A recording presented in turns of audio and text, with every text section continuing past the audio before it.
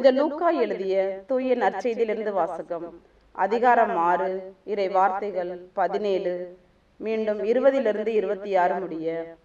அக்காலத்தில் இயேசு திருத்துதர்களுடன் இறங்கி வந்த சமவெளியான ஓரிடத்தில் நின்றார். பெருந்திரளான அவருடைய சீடர்களும் யூதேயா முழுவதிலிருந்தும் எருசலேமிலிருந்தும் தீர் சீதோன் கடற்கரை பகுதியில் இருந்தும் வந்த பெருந்திரளான மக்களும் அங்கே இருந்தார்கள். இயேசு சீடர் மீது தம் பார்வையை பதித்து கூறியவை ஏழைகளே நீங்கள் பேறு பெற்றோர்.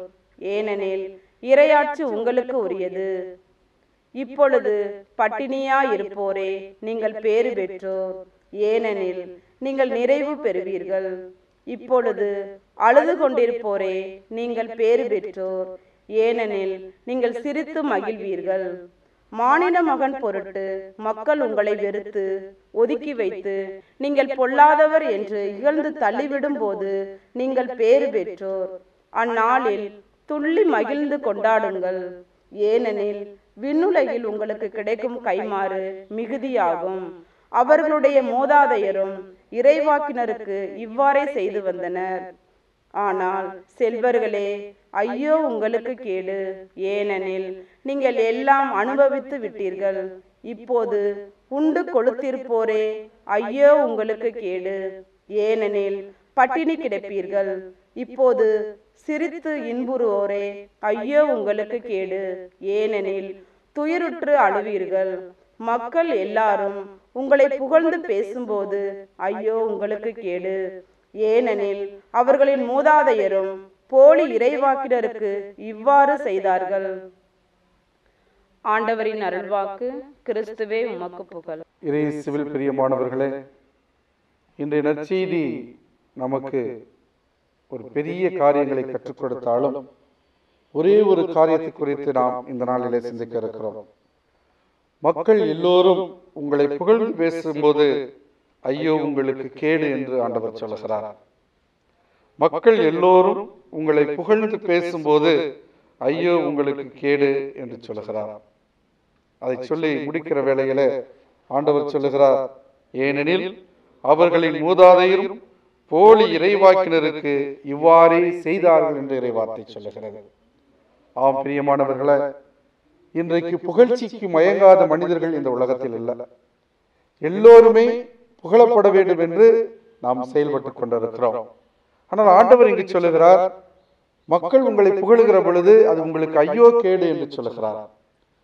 புகழ்ச்சி என்பது கடவுளுக்கு மட்டுமே சொந்தமான ஒன்று. புகழ்ச்சி என்பது பெருமை என்பது கடவுளுக்கு உரியது என்று இறைவார்த்தை சொல்லுகிறது. காரணம் அவர் இந்த உலகத்தை படைத்திருக்கிறார். அவர்தான் எல்லாவற்றையும் உருவாக்கி கொடுத்திருக்கிறார். நான் பெற்றுக் கொண்டிருக்கிற பொருட்செல்வமாக இருக்கட்டும் அல்லது அறிவுச் செல்வமாக இருக்கட்டும் இது எல்லாமே கடவுளிடமிருந்து வந்ததே தவிர நான் பெற்றுக்கொண்டது இல்லை என்பதை ஆண்டவர் இந்த நாளில் வெளிப்படுத்துகிறார். ஒன்று குறிப்பேடு புத்தகம் இருபத்தி ஒன்பதாம் அதிகாரம் பதினொன்று பனிரெண்டு இறைவார்த்தை சொல்லுகிறது. ஆண்டவரே பெருமையும் வலிமையும் ஆட்சியும் வெற்றியும் மேன்மையும் உமக்கே. ஏனெனில் விண்ணுலகிலும் மண்ணுலகிலும் இருக்கும் அனைத்தும் உம்முடையவை ஆண்டவரே.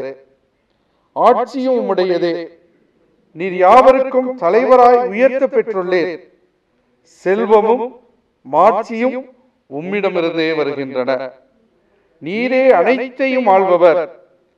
ஆற்றலும் வலிமையும் உன் கையில் உள்ளன. எவரையும் பெருமைப்படுத்துவதும் வலியவராக்குவதும் உம் கையில் உள்ளது என்று இறைவார்த்தை சொல்லுகிறது.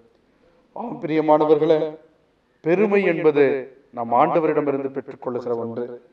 மனிதர்கள் பெருமை அளிப்பது அல்லது மனிதர்கள் என்னை புகழ்வது என்பது அது என்னிடமிருந்து ஏதோ ஒன்றை பெற்றுக்கொள்வதற்காக அல்லது என்னை உயர்த்தி பேச வேண்டும் என்பதற்காக வார்த்தையிலிருந்து வருகிற ஒரு நிகழ்வாக இருக்கிறது.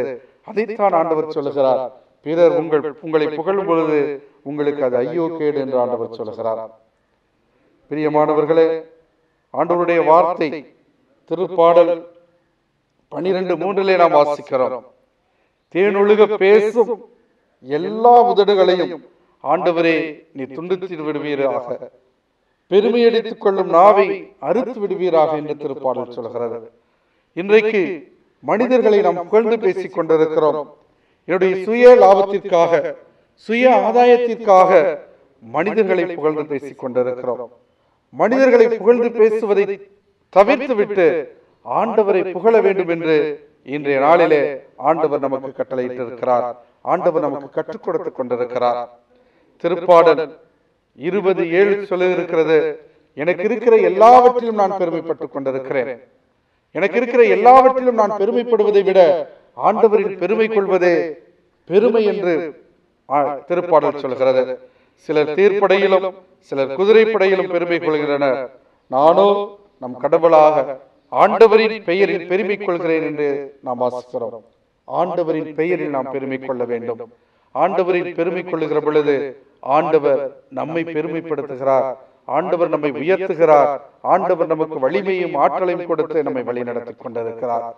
மனிதர் புகழ்ச்சி என்பது நாம் வீழ்ந்து போவதற்காக அமைந்து விடுகிறது. நமது வீழ்ச்சிக்கு அது காரணமாய் அமைந்து விடுகிறது என்பதைத்தான் இன்று நற்செய்தியிலே ஆண்டவர் சொல்கிறார். பிறர் உங்களை புகழ்வது அது உங்களுக்கு ஐயோ கேடு என்று சொல்லிக் கொண்டிருக்கிறார். ஒன்று கொரிந்தியர் ஒன்றாம் அதிகாரம் முப்பத்தி ஒன்றாவது இறைவார்த்தையிலே வாசிக்கிறோம். எனவே மறைநூலில் எழுதியுள்ளவாறு பெருமை பாராட்ட விரும்புகிறவர் ஆண்டவரை குறித்து பெருமை பாராட்டட்டும்.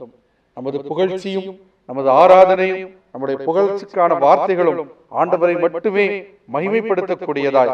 ஆண்டவரை மட்டுமே புகழக்கூடியதாய் இருக்கட்டும். ஆண்டவருக்காய் பெருமை சேர்க்கிற மக்களாய் ஆண்டவருக்காய் புகழ்ச்சியை தேடுகிற பிள்ளைகளாய் நாம் மாற இந்த நற்செய்தி நமக்கு அழைப்பு விடுக்கிறது. ஆகவே என்னை பிறர் புகழ வேண்டும் என்பதற்காக நான் எதையும் செய்யாமல் ஆண்டவர் பெயர் மகிமை அடைய ஆண்டவர் புகழ்ச்சிக்குரியவராய் மாற ஆண்டவர் புகழை மட்டுமே நான் பிறருக்கு அறிவிக்கிற ஒரு நல்ல மனிதனாய் மாற ஆற்றலையும் வல்லையும் வல்லமையும் வேண்டி இந்த நேரத்தில் ஜெபிப்போம். எங்களை நேசிக்கிற நல்ல இயேசுவே புகழ்ச்சிக்குரியவரே ஆராதனைக்குரியவரே மாட்சியும் மகிமையும் உம்மிடம் இருக்கிறது ஆண்டவரே? இதோ பிறர் எங்களை புகழுகிற பொழுது அதிலே பெருமை கொண்டு வீழ்ந்து போகிற மனிதர்களாய் நாங்கள் இருக்கிறோம்.